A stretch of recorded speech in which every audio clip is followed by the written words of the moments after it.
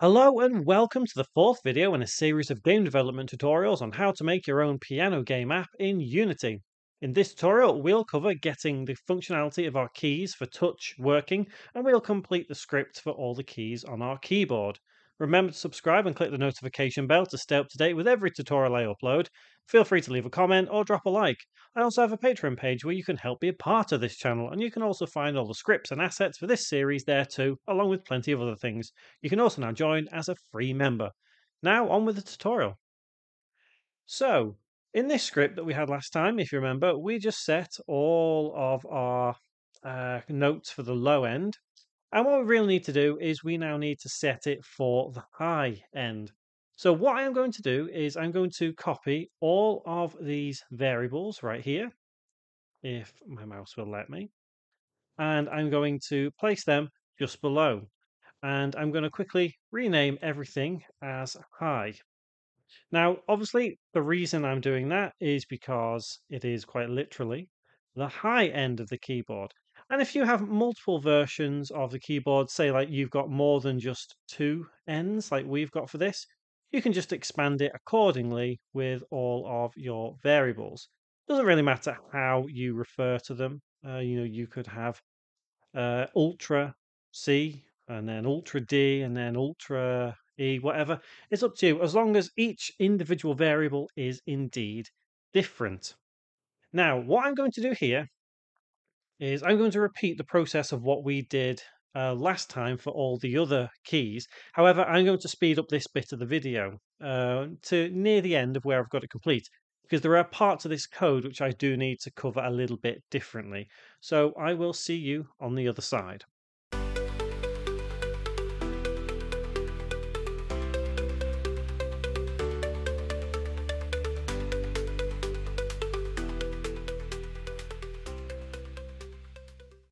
Okay, so I've got all the notes in place apart from just a few. So because we're no longer dealing with keys and numbers, we would be dealing with some symbols on our keyboard. We have to address them and name them a little bit differently. So to set for the high F, what we need to do is do the square bracket. And we can easily do that by saying left bracket in the section where we would normally have a letter. The same would be the case for right bracket. And then as we go further down, you would also have uh, the hash here. So if your keyboard is a little bit different, you may have to do something slightly different. Uh, so if you've not got the hash next to your square bracket to on, on the right, you may need to use a different key code. But you can find the key code symbols on Unity's website anyway, so don't worry about trying to find them. Uh, but if yours is the same as mine, you have hash, and then the last key is going to stretch onto the number pad, uh, which for me is going to be keypad 7.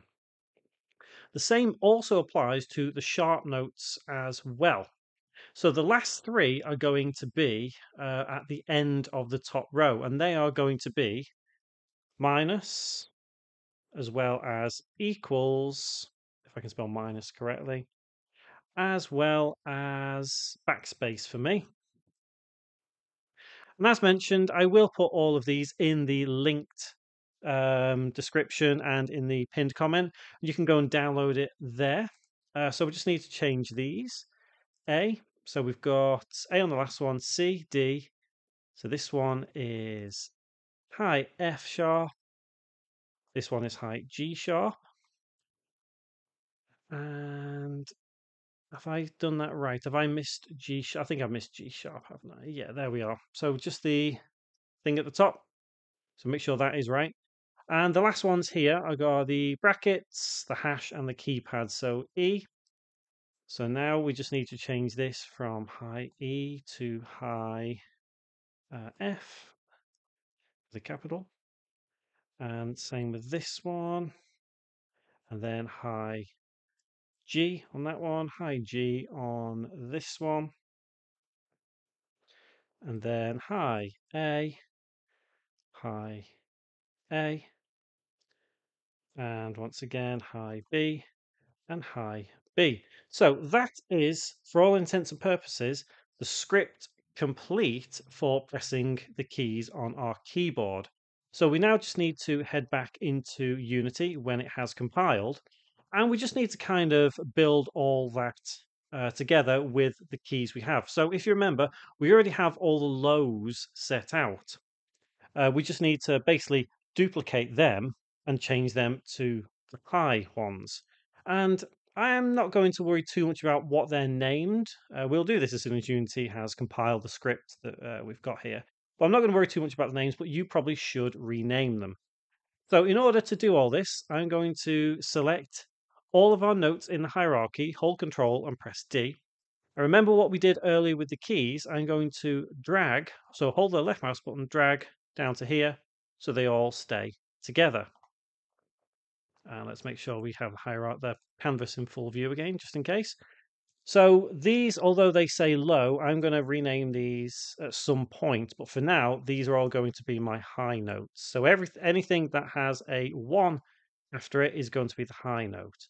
So it's just a case of dragging and dropping all of these like so. I wish it'd stop doing that. Zooming in when it shouldn't do. Just make sure we've got that right. So that's uh, that's high E.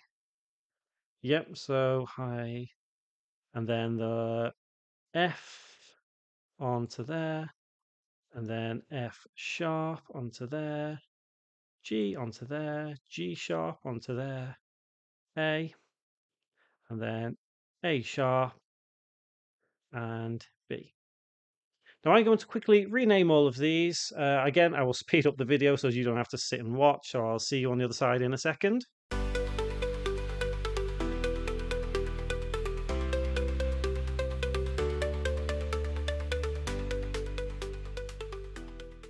Okay, so that's all of those renamed.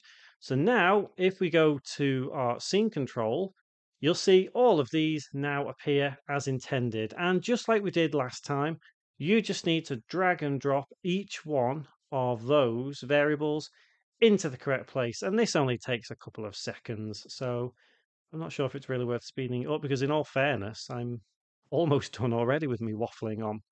So we have everything in place now. And to be fair, if you wanted to leave it at the point it is now, I guess it, that's entirely up to you. Uh, because we should have a fully functioning piano with just our keyboard now. So let's press play and let's try that out and see how it sounds. Brilliant. It works as intended. So we now need to make sure the touch controls work. How do we do that? Well, we need to create a script that will allow us to touch those buttons, and we need to set those buttons up correctly. So how do we do that? Well, we can still use the same script.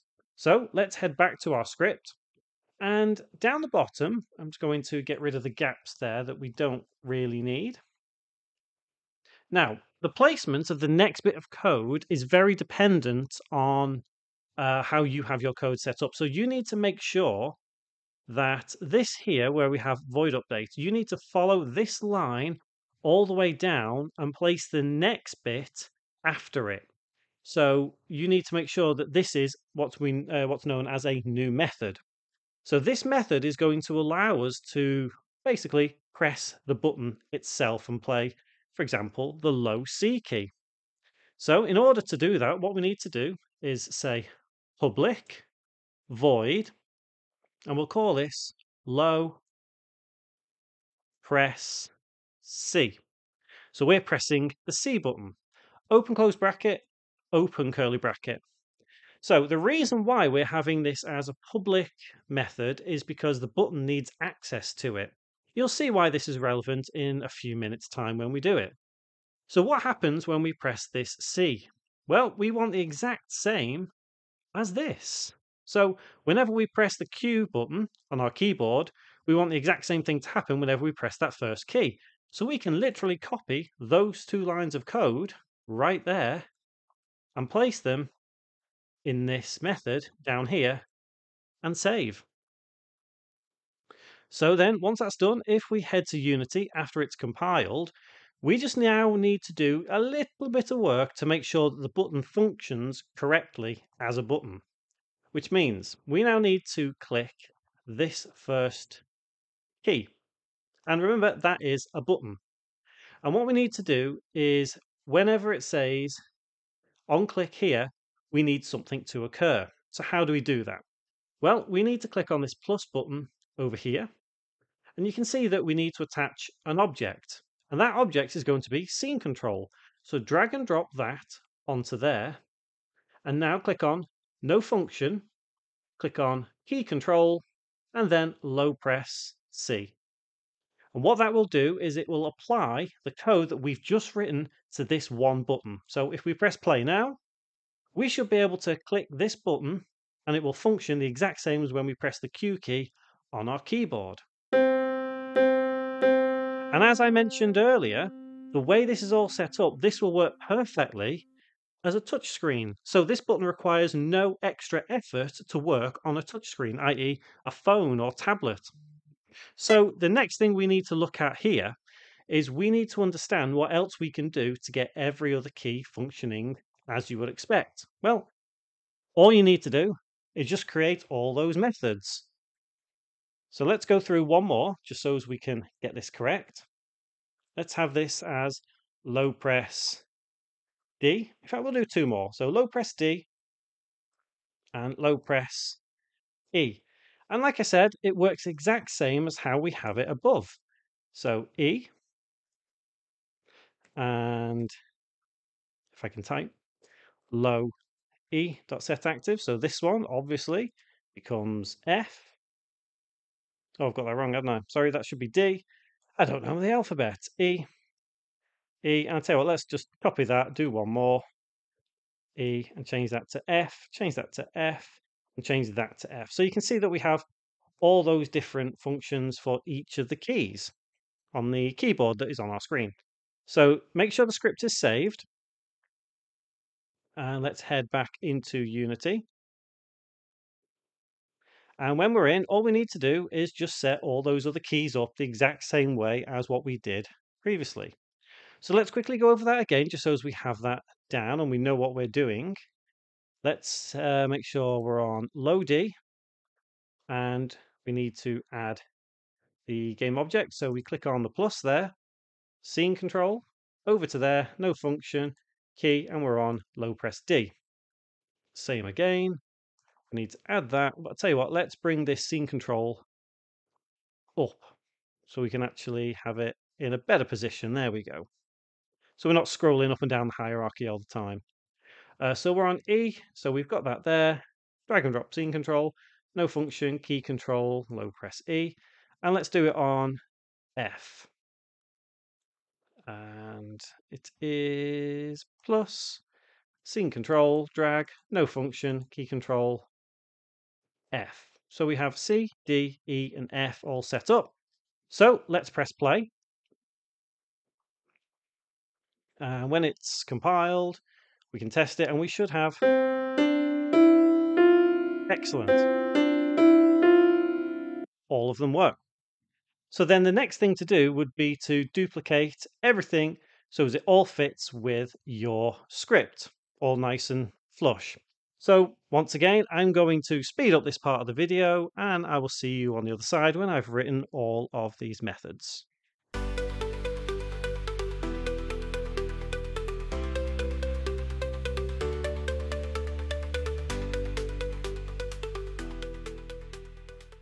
Okay, so I have written all of the lows and the highs for each available key.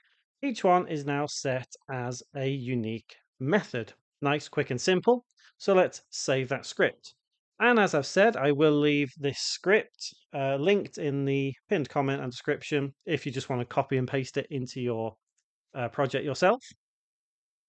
So let's head back into Unity and as you might have already seen, we don't have the high notes set up just yet. So let's quickly go ahead and create those. So if we copy and paste, or hold control, press D to duplicate, and drag all of those down into the lower part, so just there.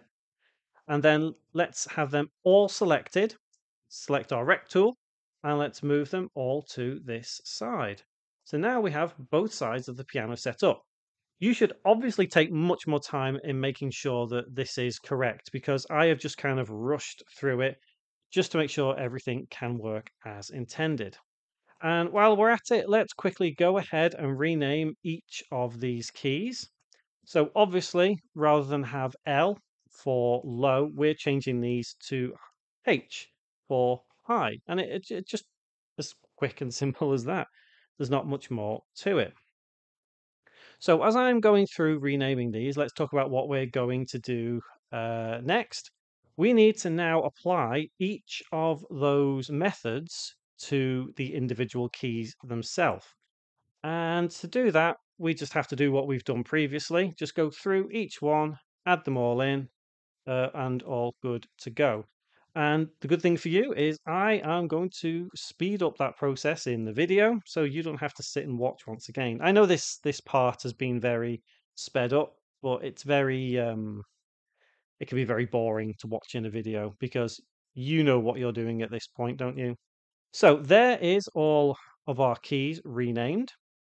And like I said, I'm going to speed up the next part while I do the exact same thing we were doing earlier, applying the game object to each key and making sure that you click the correct method in the function. I'll see you on the other side again.